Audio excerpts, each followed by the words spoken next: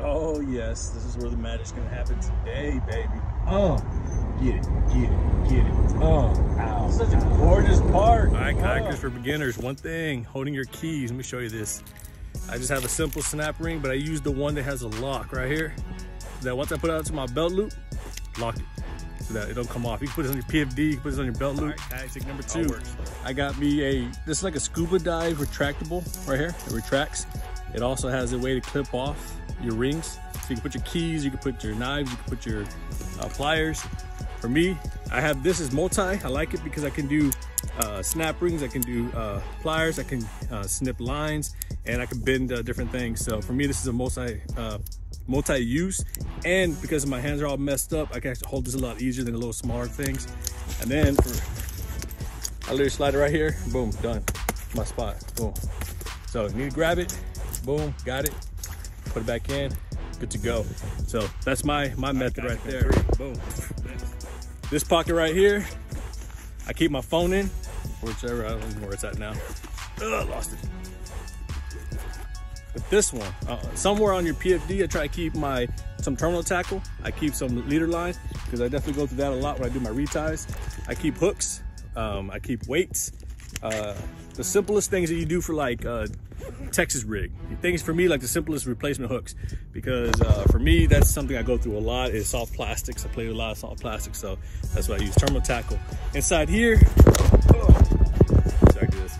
Inside this pocket right here, I keep a ton of uh, emergency stuff like markers for my tournaments and stuff. You can write them on your hand, you can write them on the board. Uh, a little lighter in case you want to toke out with the bass and the fish. Emergency knife. Why? Because you gotta have something orange in order for people to find you. Just kidding. And uh, that's about it for that side. I keep my wallet inside here. Let me see if I get this lighting. Keep the wallet inside this pocket right here where I put uh, my uh, fish license and things like that. So that's it. Keep my radio right here, clip it right in, especially when I'm doing inshore fishing or uh, offshore, I'll keep a radio on me. Right now I'm fishing a local area. You can tell the lake's pretty small and uh, I'm gonna just uh, stay pretty close and that's it. Uh, what else I got here? Oh, my rape whistle. You never know when these bass come out to try to touch you, you know? So stay away. You just stay away from me. Cool. No bass, no touchy, right? All right. Cool. Uh, I got a, this is a Stohlquist PFD. Uh, that this professional, professional, Jesus, I'm freaking out of it. This uh, float, personal flotation device. I might need to slow down a little bit. So this PFD right here, it floats. It's awesome. There's a lot of awesome PFDs out there like the NRS Chinook, which is a well-known one within the kayak community. But this one, I don't know what it is, but the form fit of it, the how buoyancy it is, this one keeps me afloat really well. Uh, and then the, the low pro in the back, uh, everything just works out dope with this this this one. So became my favorite. Has a lot of uh, uh, loops and rings and, and pockets. I can put my pocket, my hand inside my pocket here, hand in a pocket here. I don't even know what's in there. And I got all these other pockets here. I got buttons I can press when I catch fish, you know, all the cool stuff. If you haven't seen one of those things, these are awesome. Yep, all right, game time. So that's some things I normally bring when I'm, uh, boom, kayak right here. This is a simple tackle box. It could be a cooler box, it could be a bait box. If you're inshore fishing, you can put some live minnows in this thing. This one I could put some live well. Inside here, I keep these little guys here and I change them out based on what I'm fishing for. So if I'm fishing for top water, I do top water stuff. If I'm doing things with chatter baits and stuff, I do some chatter baits. If I'm doing soft plastics, I change it out, throw a bag in there. If I'm doing flipping jigs and stuff, I might throw some flipping jigs. Uh, if I like smelly, stinky, beautiful, naughty crawls and plastics, oh, I go with that. Hey, go check them out, Nauti Fish Outfitters. They got some awesome plastics. Uh, oh, if you haven't seen these sand sticks, whew, they work. Well, I think they work. I mean, that's to be an opinion. Um, so that's some stuff I normally will carry some kind of quick tackle. I normally will be able to interchange these in and out to different fishing styles. I go inshore fishing for like redfish. I'll change those out to like uh, Z-mans and things like that. My knee is a good net. This one right here, you can see that little tape. I actually cut that off and I remade it smaller. So look how small this thing looks. I've had this for two and a half years. I got it at Walmart. Ugh, let me pop this thing down.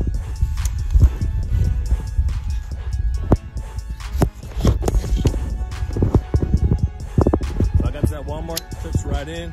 Has that nice uh, anti-hook net, which is awesome. It's amazing you need those. Uh, it's really light and it's small. And it's not over 60 bucks like some of the high-end stuff. But hey, you can get either or. So you can go cheap, like I did. I think I paid like 10 bucks for this thing. Again, it lasted me two and a half years. But I probably should advance later. Maybe, I don't know. Oh snap, look, yep, I found it. Yep, got my Nalgene bottle so I can save the planet. That's right. So always reuse these, uh, help save plastic from getting all in the oceans and the waters because we got to protect our fish. So get a Nalgene bottle. If you don't got one, get one some kind of awesome bottle that you'll use over and over and over and over and over and over and over and over. Another item you'll need a awesome, awesome fish grippers. This is the Texas colors. Why? Because Texas is awesome. Um, and some kind of way to hook it up. You don't have to have a carabiner on it, but I do sometimes when I do my stakeout poles. Uh, but this is awesome, awesome thing to have. You could use this as anchor control. You could actually clip this onto trees. You can clip this onto your buddies. You know, if they're talk talking lips, you just grab them in the, the mouth. It's awesome. Um, use this for the crazy fish talk back. And uh, yeah, and it's made in America. You're gonna need a catch board, a nice, beautiful catch board. And you have to have a Nauti Fish sticker on the catch board or it's not approved. Just kidding. Uh, and you will need a fish identifier on your board, which is awesome. You can either write on your board, write on one of those cool things. And uh, but yeah, you need one of those for your kayak fishing tournaments. It's awesome. This is a uh, Karbonate board. It's really, really light, which is what I like sometimes. I like that light stuff. Yep, get that. So if you kayak fish, get aboard. So for those that know me, know I normally fish my Hobie Revo, which I love. It's one of my favorite kayaks. It's probably been one of my favorite kayaks for a very, very long time. But when I'm trying to do a really short trip, like right now, I got like barely an hour left of fishing before it gets dark here in Virginia. And so I sometimes take this little skipjack. It's a nine footer. It's really light. I got messed up back, back right now. So I take this guy out just to get a quick session in sometimes. And so for those anglers who are out there spending $1,000 on your kayak, you just know you can get a simple kayak or you can get an expensive kayak. They all do the exact same thing. If you can put a fishing rod on it, you can put a little board on it so you can measure your fish. If you can hold your drinks on that kayak, hey, you're rolling, right? Um, so this one right here, this kayak, just the other day, I was able to catch uh, 20 and a 20 and a quarter uh, just here in Virginia. So any kayak works. And my Hobie, I love it. I can get out really, really far, really, really fast. This one, I am not taking the Chesapeake Bay Bridge, but if it's a calm day or a nice windy day, but I'm able to hit the anchor off somewhere nearby, I'm golden. So, but yes, for those looking for kayaks, this right here, I think it's like 600, 500 bucks or something. Skipjack, I mean, it's really small, really easy. If you got a kid, dope kayak. And it's simple. It's, I, can I can still stand in that thing. Actually, it's more stable than my Revo. Revo is, uh, I love it. It's fast, but there's a reason why it's fast. It's narrow. Yep, skipjack. Vibe. Yeah, I like vibe. There it is. Boom. Quick little look before I launch. This is what it looks like. You definitely, I got a net, something you need for kayak fishing. Stakeout pole for the crazy winds, crazy currents. I love that thing. Park up by a bank and cast out. It's awesome. My uh, catch board, it's approved for KBF tournament fishing. I love it. Really lightweight, durable, and it, that thing doesn't break. Then I got a fish identifier. I got to put my IDs on that bad boy right there so I can, from my tournaments, take a picture of your fish with that in the picture and you upload to the apps. It's awesome. That right there was given to me by a good friend, our juggernaut, AKA Carmen. Uh, and let me tell you, this thing holds a ton of stuff. I put, uh, I got one inside my uh, my Revo in the hatch, and uh, I put all my my uh, lures I go through in one day. I could have like six different freaking jigs and lures. It's wild. Um, I normally bring about two rods minimum, um, ideally. And normally I do one with soft plastics or finesse rigging, and I do one more of a medium style, things like spinners, chatterbaits, heavier stuff. Um, so I'm more of a medium style. This is more of a heavier rod over here, medium style rod. You can see by how thicker that one is and how thin this one is. This is more of my finesse, lightweight. This is a light fast action rod. Um, both of them are always around because my kayaks are normally about 12, 13 feet. So my rods are normally between 7'1", 7'2", um, length. Um, I try not to go short unless I'm going to heavy fishing. Like if I'm doing cobia, then these rods might stay about 60 miles. Um, the reels, I'm a Shimano guy, I'm a spin. I like things that uh, it's just it's always been my style. Uh, I do like bait casters, but for me, I just always personally always get uh, spin reel. But I also do. Um, let me show you real quick. I always do a lot of swivels. Um, the reason I do swivels, uh, for some reason, all the spinning and everything, I just think it keeps your line uh, integrity better. And so I always do a, a leader line at the end. I do braid to leader. Um, and then I like to do uni knots, um, Diego knots. Those are some of my favorite knots to use. Uh, and if I do tournament fishing, I don't use these during tournaments. Uh, during a tournament, I'll remove this and y'all know it's effing good. So that FG knot is smooth. It glides through your eyes because your eyelets up here, if you end up having a, a lot of people put a bead so that you don't break the little eyelid right there. Um, so for me, this thing here, I'm always careful about how close I reel my this, this up to my eyelid If you're new to fishing, I highly recommend you put a bead right here so you don't damage your eyelets. Definitely do not hook your, so you can see here, I hook up my hooks to the guides uh, out here in the post, not in the eyelets. Do not put them in this ring. There's little graphites or different type of rings in there. They're glued in or they're, they're, they're manufactured in.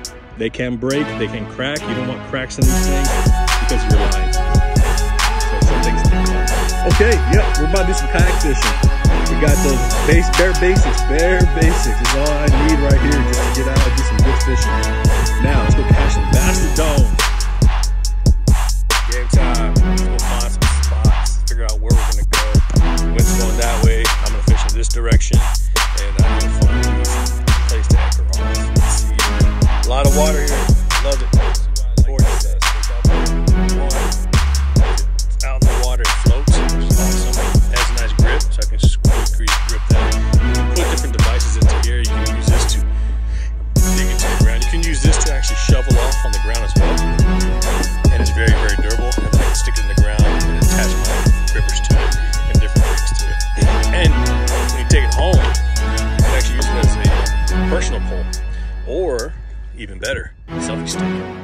For those that don't know, um, Nauti Fish does sell custom plastics like this.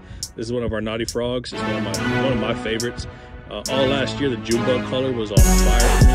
And uh, this month for April, for the blue spawn and the spring, this red uh, and June bug, so blue flake June bug color.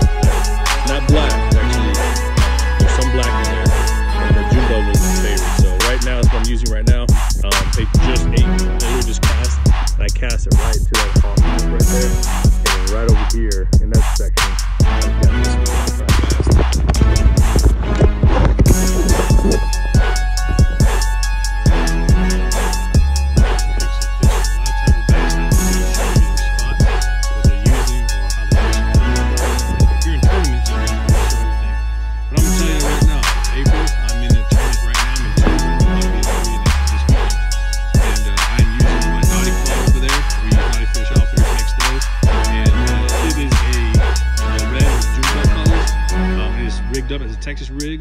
two to three inch, two to three feet um, fluoro leader to a swivel and a braided line. The um, fluoro is about like 12 pounds, and in the uh, braided line is 20 pounds. The reason I do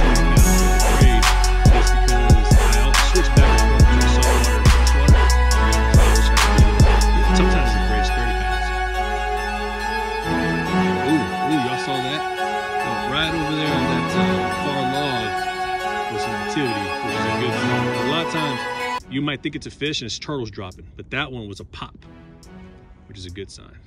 So what I'm doing is I'm throwing finesse rig and going really, really slow. Um, I'm stopping every once in a while to let the bait fall and just be natural for a bit because these big fish are so pressured, they uh, they don't normally hit the same activity. They don't normally like you got to really, really play it. And then you really want your stuff weedless. If you're playing the weeds, you see how my hook kind of came out. I want my hook to be inside this plastic so I don't keep fighting the weeds. so, and right now I'm trying to aim for certain pockets and. And and I have an ultra light or light fast action rod and I, I I like it even in the weeds. A lot of guys don't do that. They want the heavier medium, uh, medium to heavy uh, style rods, only because you can pull through the weeds easier, especially if you're doing spinners and chatters and stuff like that. But for me, I love the feel. I love how sensitive it gets. So for me, it's a light fast action. Anywhere between a 7.2, 7.3, those type of rods. Shimano is one of my favorites. Um, this SI4 is just to me one of the lightest, coolest little rod reels they got. Right, do some waiting. That's a little fighter. Oh my god. Uh, Nauti Frog, Texas rig. Mm. There it is. Gorgeous. There she is. Gorgeous, gorgeous fish. Nauti Frog right there. Texas rig. Slow in the bottom. There he is. Number two. He got my phone all wet, my clothes all wet. He and he came in with a bunch of grass. He was in the grass. Asking. what do you do about having to fight through grass? you bear with it. You just gotta. Yep, headed home, tired, it's dark. I only have about an hour and a half of fishing. Um, hopefully y'all saw some stuff that y'all might need when you're kayak fishing. Uh, I talked about the fish grippers, which is something I always bring with me if I can. Um, you never know what you can use those for, from again, anchoring, catch, using it for the fish, um, you name it. Again, if your buddy talks a lot of stuff, you can just use it to grab his lips. Um, the stakeout pole, park pole, or the anchor pole, whatever you want to call it. The thing that floats, I like it because it floats. Some don't. Um, either or, it will help you in strong wind, strong current. It'll help you stay in certain areas. If you're trying to get those bass and you don't want to creep, you want to creep up on them, you anchor yourself off, you cast really, really far, and it could be a really good tool. Um, if you haven't seen Chad Hoover, he talks about it. He talks, uh, uh, Gene Jensen talks about it, how you creep up on the fish and things like that. Um, I use that technique all the time, especially during pre-spawn. You, you gotta be, this is a finesse game. Uh, even though uh, those big babies, bass mamas are on those beds, you uh, you gotta finesse them. Yeah, put some of that naughty juice. Mm. Today, my red was worked pretty good. I got a bunch of hits, but I also got two on the uh, two little bass, little dinky dinks. Did not get the sizes I needed. I was going for some 19 pluses, maybe some 20 inches, but uh, hey, don't we all want that? And uh, didn't get it, so mm, till on next time. Hour and a half of fishing, two fish, I'm okay with that. It's better than a skunky skunk. Skunks, man, that's a horrible feeling. It makes any angler feel like poop. And if you go on for more than one day of skunks, uh, then you feel like a footy poop. So, uh, so yeah, fish grips is a plus for me. Park pole is a plus for me. PFD is always 100% a plus for me. A paddle, of course, you gotta have a paddle. And if you have a pedal kayak, you still want a paddle. You never know if the pedal breaks on you, trust me. I went two years, awesome kayak, uh, and my pedal broke on me when I was trying to show off and race another dude, and I beat him. But uh, I embarrassed myself because it broke, so yeah. Uh, but paddles always, you never know when you need it. Uh, the other thing is, unless you want to, yeah, we don't want to talk about that. So paddle, PFD, PFD is a must. I keep terminal tackle on my PFD. You also saw I keep those little retractable uh, pliers with the cutters on them. You want something on your body that can cut the line. You never know when you fall in the water. You never know when you get tangled up with your buddy, who your buddy might be trolling, which is a booger sometimes because I've had some booger buddies, and my booger buddies will go by with trolling and they will hook me. Um, just the other day, I had an awesome booger buddy hook me a couple times actually in one trip, which was awesome because I felt loved. I was like, oh man, they really want to hook me today. And so, uh, but luckily it wasn't nothing major. I was able to undo it. But you never know if you need those scissors, the clippers, or those line cutters, you name it. Uh, if you haven't seen those line cutters, I don't have a pair on me. Uh, maybe they want to sponsor me one day. Just kidding. Uh, but anyways, those look awesome. Uh, for me though, my hands are really uh, sensitive. Got a lot of damage from parachuting and stuff. Which one do y'all know? So I I like the something with the thicker handle. It's kind of my thing. Yeah. what else we talk about? I was talking about the tackle. So terminal tackle, sometimes I don't even go out with a tackle box at all. I just go with my PFD with just enough stuff for my soft plastic for Texas rig, Alabama rig, or Carolina rig, something like that. And uh, I say Alabama rig, I don't ever bring an Alabama rig. Uh, even though it's dope, boaters probably have more fun with that. For me, trolling with Alabama rig or throwing those um, isn't my thing for kayak fishing, but they're awesome. But again, you take some Texas rig, uh, um, Carolina rig, those two are kind of like mostly used by me. I use them a lot, um, but I also throw everything else. But uh, if I'm gonna go kind of a quick trip, maybe a 30 minute, uh, an hour trip, uh, maybe after work, I got like an hour before sun goes down, then I will throw or bring just my PFD with some terminal tackle. Um, let's see what else. Oh, rape whistle. Always keep a rape whistle. You never know when you got to use that thing. Uh, keep it attached to your PFD and always know where it's at, even with your eyes are closed, even if you can't see, because you never know when you need it. Um, a radio, I don't bring it with me on my lakes a lot, but if I do like uh, big trips, ocean trips, cobia trips, um, cause y'all saw all those monster cobias I caught. I'm just lying, I never caught one. If somebody wants to take me out and catch some cobia, I'm down, let's do it. I will uh, rub your feet and buy you beer. Uh, besides that, let's see, whistle, PFD, grippers, stakeout pole, your paddle, your kayak. And again, kayaks, they're all types. So whatever gets you on the water, whatever makes you happy, that the kayak's gonna work.